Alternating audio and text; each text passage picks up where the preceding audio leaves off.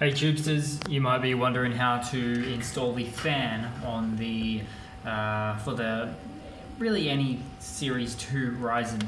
Uh, you'll notice that the Series 2 Ryzens have the circular fan as opposed to the square uh, bracket in. That's fine. Uh, you'll also notice a few things. So basically, once you put the CPU on, uh, there's really not a lot to do. Just grab the, what the fan is in the box is, the stock fan, and uh, just screw it down in there nice and tight uh, into the holes.